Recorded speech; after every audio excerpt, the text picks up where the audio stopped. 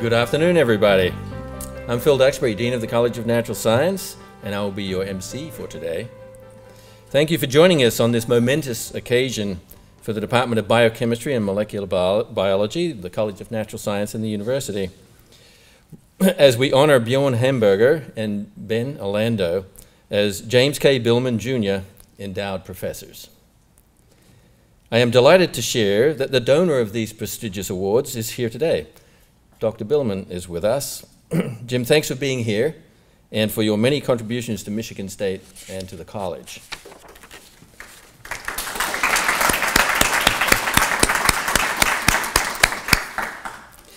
I'm also pleased to share that Professor Amy Ralston is also here with us today. Amy is the inaugural uh, James K. Billman Jr. Endowed Professor she conducts pioneering research to investigate how genes regulate stem cell behavior in the context of the mammalian em embryo, with the long term goals of devising innovative stem cell therapies and improving pregnancy outcomes. Kristen Parent, who couldn't be with us today, is the inaugural J.K. Billman Jr. Endowed Research Professor. So there's two types of professors here. One, one's got research in it, the other does not. But both are research. um, and she conducts pioneering research with cryo-electron microscopy, which we're upgrading at the moment. We're looking forward to great things from that upgraded facility. Uh, and uh, she does 3D image reconstruction methods to better understand the underlying mechanisms that control virus infection and the processes of virus assembly. Amy, it's great to have you here today.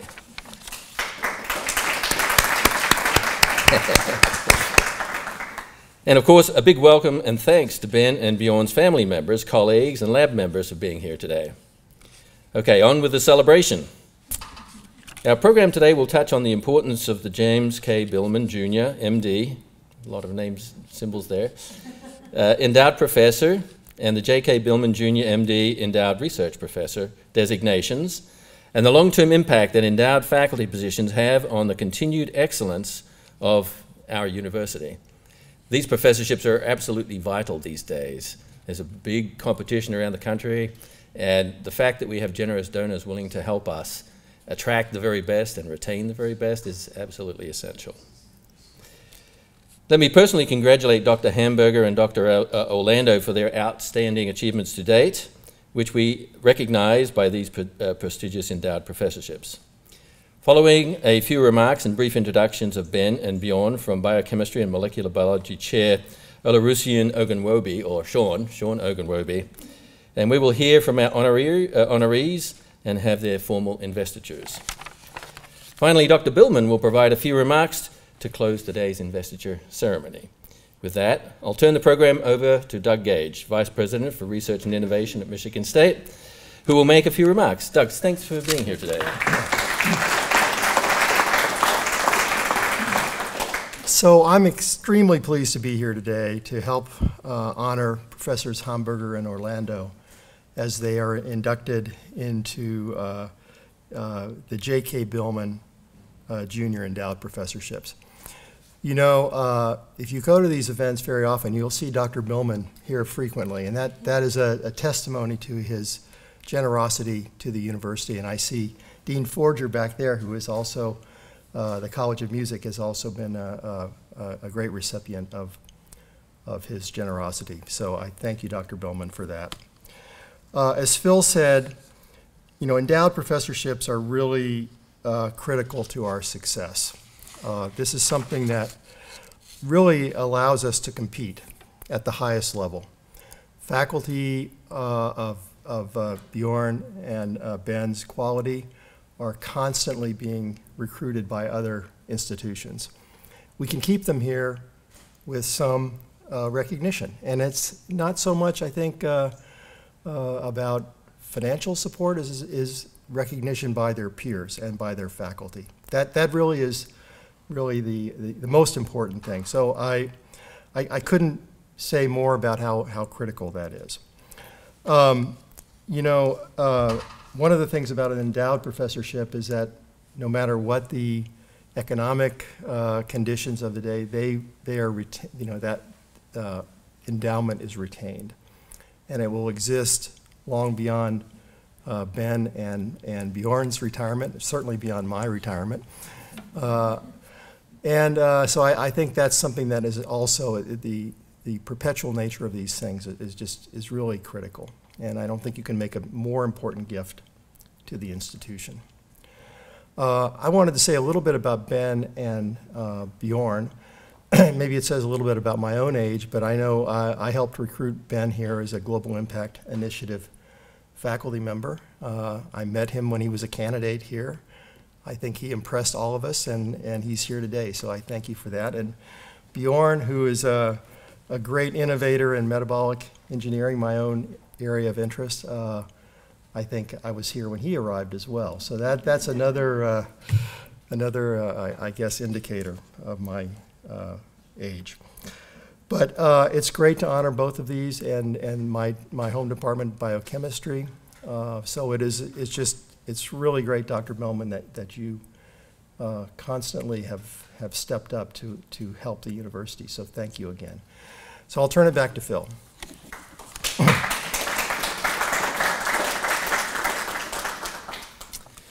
Thanks, Doug, for those, those uh, inspiring words. So, as Doug said, these professorships are awarded only to the most outstanding faculty, and we have outstanding faculty to in, uh, have uh, this investiture for today. The impact of these types of endowed positions is much broader than just those individuals, as it enables them to attract the best students, postdocs, colleagues, and it helps us as a community keep on improving. Together, all these aspects help ensure that our future alumni will have the education and experience they need to compete for the best jobs and to lead the nation and world in maintaining and building scientific leadership, which is the primary mission in the research sphere of our college. Ben and Bjorn, we're looking forward to great things, building on what you've already achieved. With that, I'd like to invite Dr. Sean uh, Ogunwobi, Chair of the Department of uh, Biochemistry and Molecular Biology, to the podium to say a few words on behalf of the department and to introduce today's first honoree, Ben Orlando.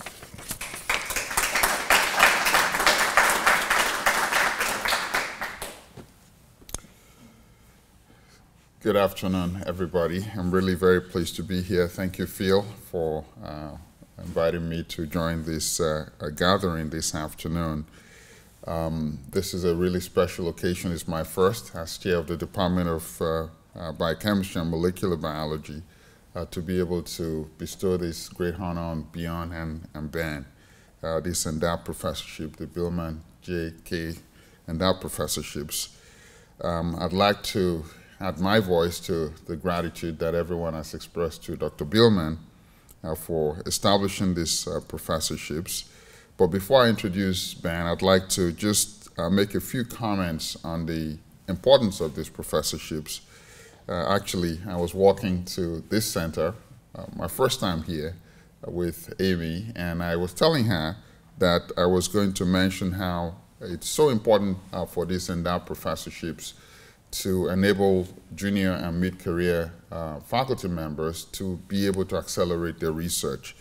Uh, these professorships provide the necessary flexibility uh, for them to explore innovative ideas that uh, may be uh, not competitive for funding uh, by NIH and other um, federal and state agencies that often require tremendous amount of preliminary data and um, some people feel they tend to fund incremental research in, in some cases whereas these endowed professorships allow our faculty to be able to explore um, out-of-the-box ideas even uh, to then accelerate their research, gather the preliminary data to be competitive for this uh, uh, uh federal and state and other uh, foundation funding. So we're very grateful. And so it's now time to um, introduce one of our honorees, uh, Ben Orlando. Uh, so this is a very great honor for Ben. He's a proud alumnus of uh, Michigan State University. He came back to us um, after leaving Michigan State University. Uh, came back to us after completing doctoral training at the State University of New York at Buffalo and postdoctoral training at Harvard University. He joined the department as an assistant professor in 2020, which is a big deal given what we all know happened in 2020. But that did not stop Ben from being very productive. He has achieved extraordinary things, including receiving an NIH R35 uh, award. And uh, since his time here, he's published uh, three high impact publications in journals such as the Journal of Biological Chemistry, the Proceedings of the National Academy of Sciences, and Nature Communications, uh, high impact journals. And he's been invited to uh, give high profile national and international talks, among many other honors. And so, in recognition of these achievements, the Department of Biochemistry and Molecular Biology was very proud to nominate him for the J.K. Billman Jr. MD Endowed Research Professorship. It is now my greatest honor and privilege to invite to the podium uh, Dr. Ben Orlando to tell us about his amazing research.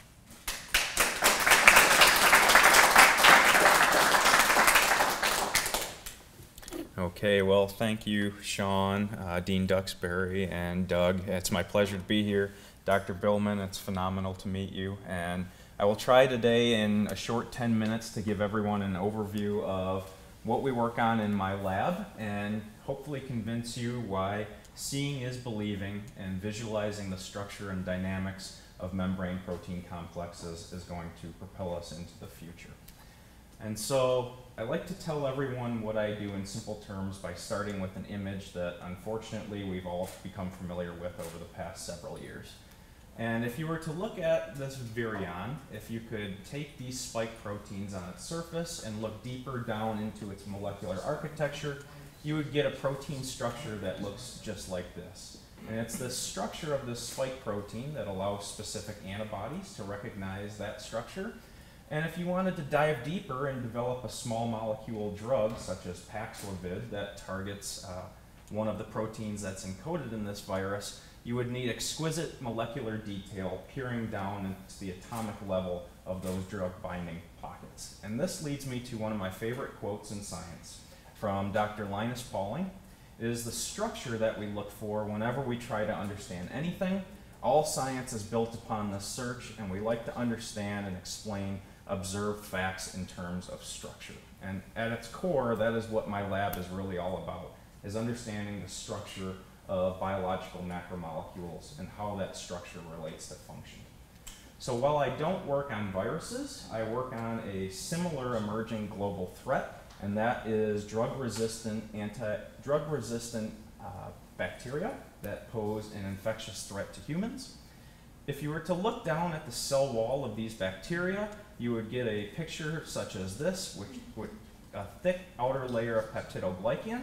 And this layer needs to be continually synthesized through an elaborate biochemical process that involves many different lipid intermediates.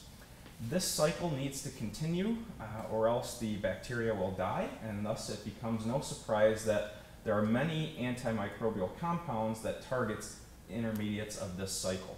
Some of these you're probably familiar with. Everyone in this room has probably at some time in their life used neosporin, which is a small circular peptide that binds to these lipids.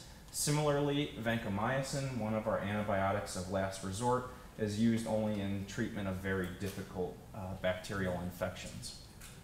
And so this here is a structure of bacitracin in gray bound to its target uh, lipid here in yellow. And the overarching question we've been trying to answer is how do bacteria sense and resist these peptide complexes once they bind to the cell surface? And one of the ways in which they will do this is once a peptide recognizes its target lipid at the surface of the bacterium, there are antimicrobial resistance complexes called BCE modules that look like this. Once this complex is recognized, it sets off a cascade of biochemical events, ultimately leading to gene transcription that further upregulates the complex to mediate resistance against the peptide. And so what my lab is really focused on is trying to understand at the molecular and even down to the atomic level what these complexes look like and how they perform this overall cascade of biochemical events. To do that, we use a technique called cryo-electron microscopy, and you can put your purified protein complexes onto a very small grid that looks like this. This is one of those grids held in the tip of tweezers. And the overarching goal is to trap your purified protein complexes in these holes on the surface of this grid and freeze them in time, basically by forming a glass-like ice layer. This entire grid then gets loaded into a very large and fancy electron microscope. This is the one that we have here on campus. As Doug mentioned, soon to be expanded into a much bigger and more powerful facility. And the overarching goal of this microscope is simply to pass a beam of electrons down through your sample. And as the electrons interact with the proteins that are captured in that ice, they are scattered and recollected and hit a detector to generate a 2D image of your individual proteins suspended in ice. We can collect thousands of these images, extract all of the individual particles, and begin to average them in two dimensions to improve the signal to noise ratio. And these particles can also be back projected in three dimensions to ultimately produce uh, maps in 3D that allow us to build an atomic model amino acid by amino acid of whatever target protein you are going after. So to give you a visualization of this process at work, we took a BCE transporter from Bacillus subtilis, overexpress this and purify it. And so this is the resulting chromatogram, and lane 5 is the purified protein consisting of the membrane spanning region and the nucleotide binding domain here. This went into thin ice and was imaged on our microscope here at MSU, generating an image of individual proteins that look like this. And as you begin to average these in two dimensions, we get the world's first view at exactly what this protein complex actually looks like. And to put this into perspective, if you were to take a 0.5 millimeter piece of pencil lead, you could fit about 2.5 billion of these particles on the very tip of that pencil lead. So this shows you the absolute power of this new microscope technology. We can eventually back project these and obtain three-dimensional maps that we can then build atomic models into de novo and get models and capture these complexes in a variety of different states using molecular biology and biochemical tools to see how they are assembled in the cell and change conformations in response to binding of ATP, or antimicrobial peptides and other ligands. And so if we take all of this data, we can then begin to build those atomic models and see how this protein changes shape in response to binding of small molecules like ATP, and eventually put together molecular movies from snapshots of all of these different conformations that look a little bit like this. And so we can peer down into the atomic world and actually see how these proteins change shape in response to binding of specific ligands. And so this is some of what we have done so far. Looking to the future, we're expanding all of this work into more pathogenic strains to understand how some of the world's most dangerous pathogens evade some of our most powerful medications. And so, Dr. Billman, I want to thank you for your investiture. I greatly look forward to updating you on our progress of this through the years. And lastly, I want to thank all of the people who did the hard work um, it certainly was not all me. Um, this is the Orlando lab here. All of the work that you saw here was performed by a very talented graduate student, Natasha George. I want to thank everyone at MSU who is, has made and continues to make cryo-EM a reality, including Sundar and Kristen. Some of the data you saw was collected earlier on at Purdue, NIH for funding, and most importantly, Dr. Billman for this endowment which is going to allow us to propel this into the future. So, thank you.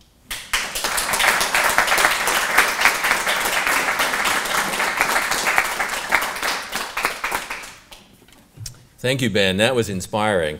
And uh, that's a big problem. We need people like you to find solutions to, to, to, that problem. So it's exciting to have that research here. So now I'd like to uh, invite um, Professor Sean Ogunwobi back to the stage uh, to in introduce our next speaker. Thank you, Phil. Uh, that was uh, nice to see what Ben does. So now it's my pleasure to introduce Dr. Bjorn Hamberger. Uh, Bjorn joined the Department of Biochemistry and Molecular Biology in 2015 after completing doctoral training at the Max Planck Institute for Plant Breeding Research I completed his postdoctoral training in the Department of Botany uh, at the University of British Columbia in Canada and also at the Michael Smith Laboratories in University of British Columbia in Canada. Prior to coming to uh, MSU, Department of Biochemistry and Molecular Biology, he was faculty um, at the University of Copenhagen in Denmark for five years. As I mentioned, he joined us uh, in 2016 as an assistant professor, uh, but he's done phenomenally well. He's uh, completed six extramurally funded projects, actually more than that. He's filed uh, five patent applications and published 35 peer-reviewed papers in highly impactful journals. Uh, in addition to these, Bjorn has been very active, giving talks nationally and internationally, reviewing grant applications, both nationally and internationally, and is trained highly successful and diverse uh, PhD students and postdoctoral trainees. Uh, his current research program is actively funded by grants from the uh, Department of Energy, the National Science Foundation, among others. And so in recognition of all of these accomplishments, uh, we're very proud, uh, the Department of Biochemistry and Molecular Biology, to, uh, to recommend him for uh, this prestigious uh, professorship, the James K. Billman Jr. MD Endowed Professorship in 2022. It's my honor and privilege to invite Dr. Bjorn Hamberger to the podium to tell us about his amazing research.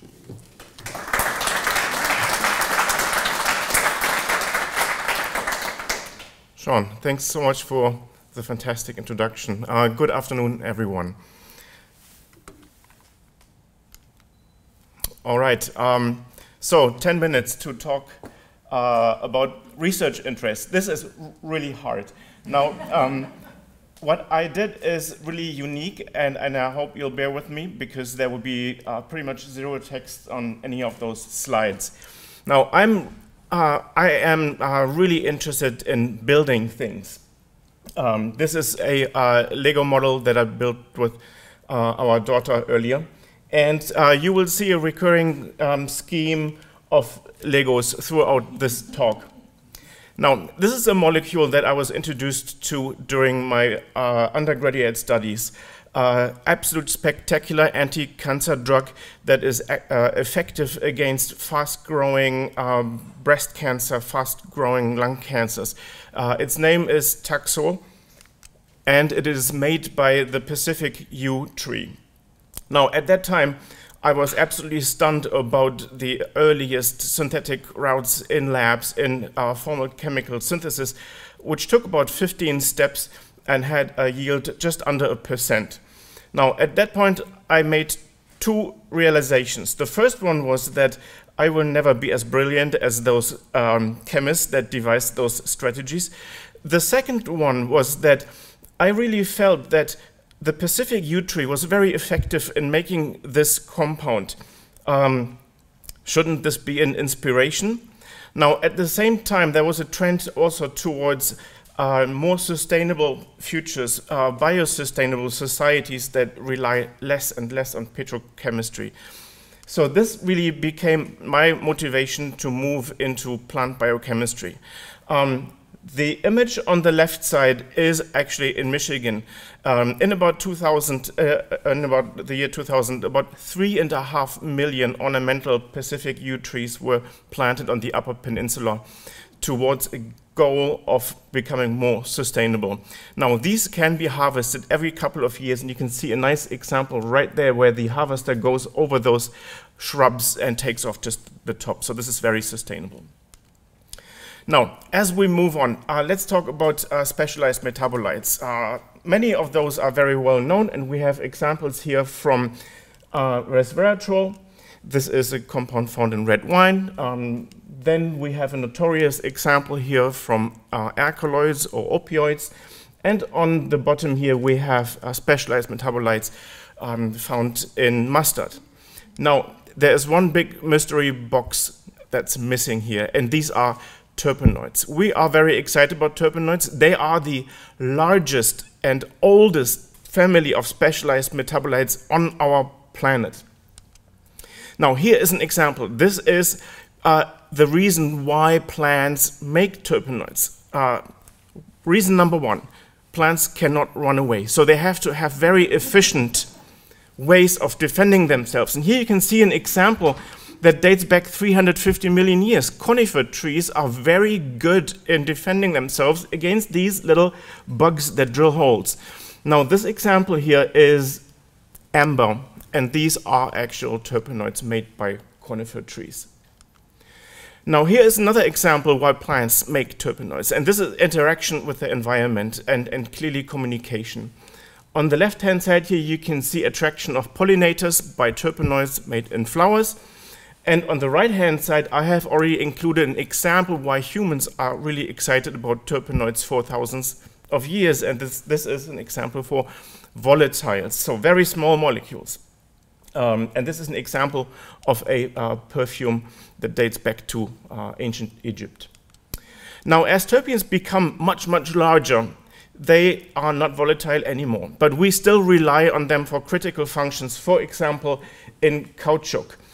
Now, this is an important billion dollar industry because humans have not managed to mimic the chemistry or the uh, physical properties of caoutchouc uh, synthetically. Now, famously seen here in the tires of uh, spacecraft that are landing. They can do that because they still rely on, on caoutchouc. So as we move um, forward for humans and, and human interests, humans recognize terpenoids um, for about known 60,000 years. This here is an example of a Neanderthal uh, pre-Homo sapiens who was buried with flowers that we now recognize for their medicinal values as uh, wormwood, yarrow, and, and famously ephedra, the source of ephedrine. Now, here are modern uses of terpenoids that span a broad spectrum of values from um, cosmetics all the way up to drugs such as uh, forskolin and, and picato. These are molecules that we have worked with in the past. We have, for example, cracked the pathway to forskolin for biosynthetic production. And this is where the Legos come into the game. I would like to take a brief moment to talk about what our lab is very excited about, and this is synthetic biology. We are learning from the plants how these pathways function. The reason for that is that with this knowledge, we can engineer biotechnological hosts for production outside of the plant, and that has significant advantages. First off, we can do this by fermentation. This is um, uh, very process oriented and, and industry friendly. The second is we don't have to go out into the wild and harvest those plants anymore. So we are working towards biosustainable solutions that will help us for a greener society. Now, with that, I would like to get to a few examples because we are really excited about members of the mint family. These are loaded with terpenoids. You know them because they have very characteristic smells and flavors, but they accumulate a broad range of bioactive molecules that uh, we can use uh, for development of novel drugs or that are even recognized as drugs. Now here I would like to come to a very concrete example of research in the lab. And with that, I would really like to thank uh, Dr. Billman for the support because this is a project that has definitely benefited from um, his contribution to our lab. Now, I would like to highlight Abby and Emily. These are two PhD students uh, on our team. Uh, actually, Emily has since then um, uh, earned her PhD and moved to Virginia Tech. But this project investigated the evolution of new chemistries in the mint family over a spectrum of 70 million years. And um, while this slide is very complex, I included it because it, I, I, find it on an abstract perspective quite, quite attractive. But what it does show is how conserved genes are across all members of the Mint family where uh, Emily looked at. And, and this is how new chemistries emerge. Now, the second example I would like to provide, um, what, where uh, Dr. Billman's endowment has uh, helped us tremendously, is uh, organization of the first symposium for indigenous connections here at Michigan State University this year. Um, this is speaker Isabel um, Pini. She is from the University of Quebec, and the endowment has allowed us to um, organize this symposium and invite speakers, including a fantastic student who has built connections in, in South America. Now, Isabel here talked about her own background as a native um, person in Canada, and she is professor in biochemistry in Quebec. This was absolutely inspiring, and, and this definitely went outside of the box and beyond what we could have pulled off otherwise. Now, um, and the research that I've talked today about, uh, this is not my contribution. People um, are in the audience. This is, this is our team, and they are the ones working hard in the background. And uh, with that, I would like to thank Jim again for this fantastic opportunity. Thank you.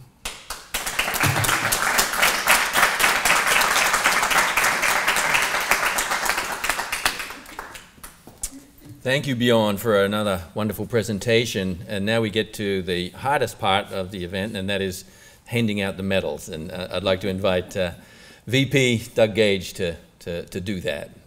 Watch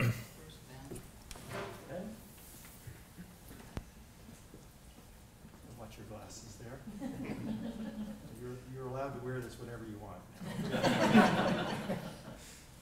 Congratulations.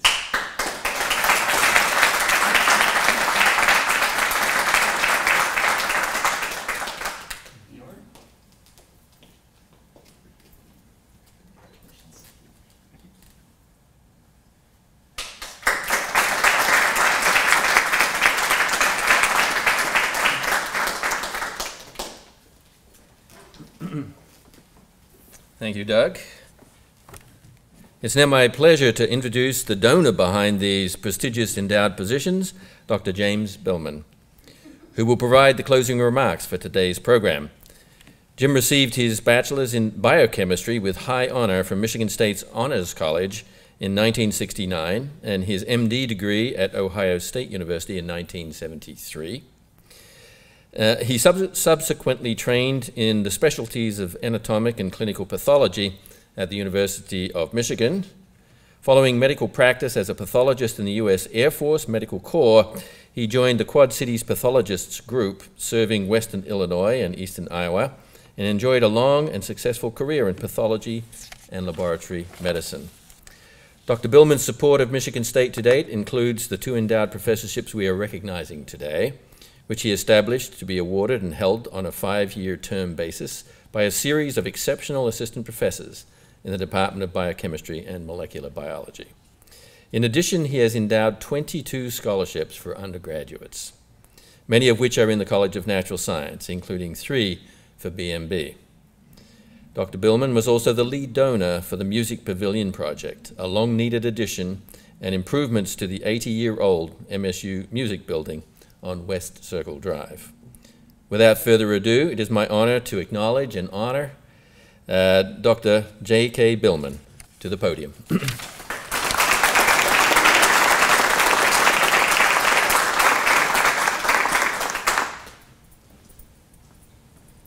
well, I'd like to uh, thank uh, both uh, Amy and Kristen for their service and I hope that uh, Orlando and Bjoern can follow their route and become uh, full professors within five years, as their their mentors have done.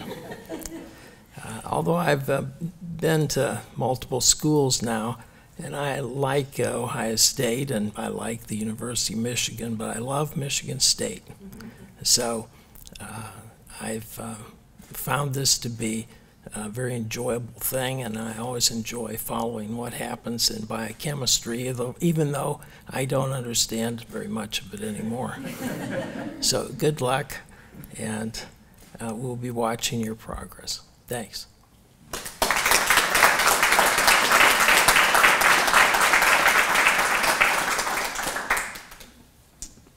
Thank you, Jim, and congratulations again to Ben and Bjoern. That concludes our formal program for today, and now we have a celebration just next door, so stay and uh, enjoy some refreshments. Those of you who came up to the podium or were engaged in the program need to hang around a little bit as we have our photographers who want to take some pictures. So please uh, wait a few minutes and, and then we'll finish it off. So thank you again, everybody, for coming. It's great to see you here.